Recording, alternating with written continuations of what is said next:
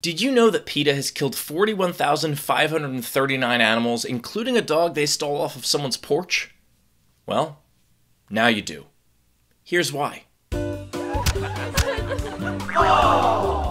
I love dogs.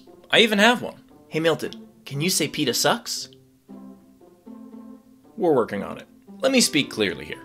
I'm not saying that Peter sucks, although I'm sure there's someone named Peter who does. I mean P E T A. People for the Ethical Treatment of Animals. That is the most misleading name since the movie 88 Minutes actually took 111. The reality is that PETA does not actually treat animals ethically.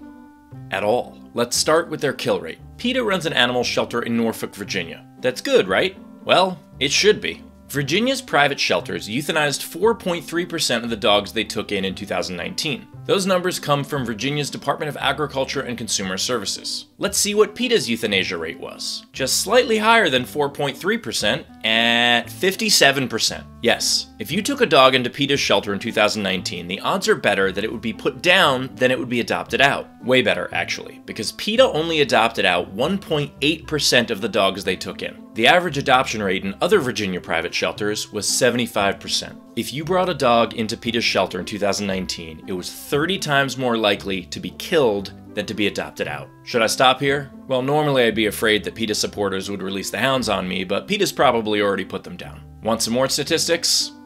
Let's go. The scariest thing is that 2019 was actually PETA's most humane year, killing 57% of dogs and 72% of cats that came through its doors was actually a huge improvement over its past. PETA had some years where they killed over 97% of the animals that came through. PETA's kill rate topped 90% for six years in a row. Let's look at PETA's self reported numbers. Since 1998, they've taken 49,737 animals in, and they've killed 41,539 of them. That's an 83.5% kill rate over 20 years. That is not a shelter, that is a slaughterhouse. Well, not really a slaughterhouse. That's unfair. A slaughterhouse doesn't trick people into bringing them cows. And remember, those numbers are according to PETA's own records, or as I like to call them, the PETA files. What possible explanation could PETA have for killing the vast majority of animals in its shelter? A few years ago, Heather Carlson, the manager of communications for PETA, followed me on Twitter. I pressed her on PETA having a kill rate that Jeffrey Dahmer would find excessive. Ms. Carlson quickly told me that she was not a spokesperson,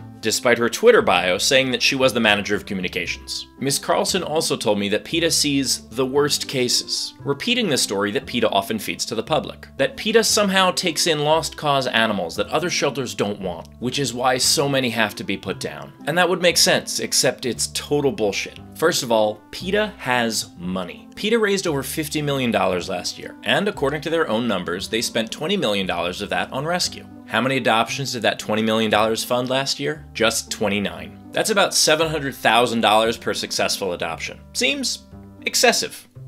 What are they feeding the dogs? $5 bills? And yes, PETA does transfer some of the animals that they end up not killing to other shelters. So the extremely well-funded PETA transfers some of their allegedly last chance animals to shelters who have less money. And miraculously, those shelters find a way to not kill most of those animals. PETA also is not a national shelter. It's local to Norfolk, Virginia. People don't drive across country to drop off abandoned dogs. They bring them to whatever shelter's closest. Also, other private shelters aren't turning away sick animals in mass. In fact, PETA actually transfers more animals to other shelters than it adopts out. So the idea that they are the animal's last chance is statistically incorrect. Other shelters actually take in PETA animals. Despite what they claim, PETA isn't some sort of a last chance sanctuary. They take whatever animals happen to be given to them, except in the case where they actively kidnap family pets, like they did in 2014 when they tried to coax a family dog off a porch. When the dog wouldn't come down on its own, PETA representatives trespassed and took the dog. They denied it, of course, and it was he said, she said, except the owner had it on film. Now, Virginia has a law requiring shelters to keep animals at least five days before putting them down, so that would have saved the dog. PETA, however, admitted to killing the dog within a few hours of taking it off the porch. And then, PETA tried to settle the matter by giving the family a fruit basket. Because they are supervillains. Calling PETA supervillains is a bit harsh, until you read why they've been killing so many animals. I don't mean to let the cat out of the bag here, but PETA, please let all your cats out of your bags. In Batman Begins, the plot is that Ra's al Ghul wants to save the citizens of Gotham from crime, and he decides the best way to do that is to kill them all. Sorry if that spoils the plot for you, but that movie is from 2005. That movie is so old, it is old enough to buy its own ticket to see a more recent Batman movie. And what Ra's al Ghul tried to do to Gotham, PETA is doing to animals. Ingrid Newkirk, PETA's founder,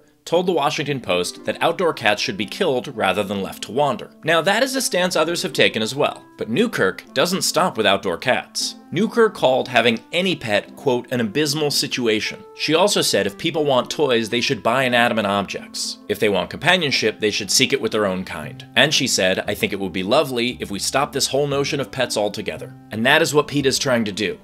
They're trying to eliminate pets. PETA believes that dogs like Milton are better off dead than owned by people like you and I. That it is somehow torture to provide dogs with meals, toys, walks, belly rubs, and like eight beds throughout the house. Yeah, Milton has a pretty good life, and yet PETA wants him dead. And they want your dog dead too. I agree with PETA that there are too many animals in shelters. And I agree that plenty of pet owners should not be pet owners. But we can fix those problems without murdering all the animals. As the saying goes, there's more than one way to skin a cat, which is something PETA has probably done. And to make this even more ridiculous, Heather Carlson, remember the manager of communications that somehow isn't a spokesperson? Well, she said she adopted her dogs from PETA. So of the few dozen dogs they actually do adopt out each year to keep the guise of an animal shelter, some of them go to their own damn staff. I don't want to beat a dead horse here, but I also want PETA to stop killing horses. That is a joke, they mainly kill cats and dogs. See, the state of Virginia actually once tried to close PETA's shelter, and various groups have advocated for legally reclassifying PETA to a slaughterhouse. Now that would eliminate PETA's 501c3 status, which they're able to keep because they are classified as a shelter. Now do you see why an organization that tries to eliminate pets helps a few people adopt them? Because it makes their slaughterhouse tax exempt. So why am I making this video? Because I want PETA to stop killing animals. I can't stop them from making horrifying books for children that graphically show animal slaughter. And I can't stop their idiotic campaign to try to get us to change animal idioms, like changing kill two birds with one stone to feed two birds with one scone. Yep, that's a real thing they tried to do. I won't get into the rest of them because I don't want this video to be longer than 88 minutes. But what I really want is PETA to stop posing as a shelter. I want them to never physically touch another animal again. I want the state of Virginia to keep trying to close their shelter until it works. And suddenly, I kinda want a scone. But what do I know? I should probably just stick to comedy. Hey, you wanna do kisses?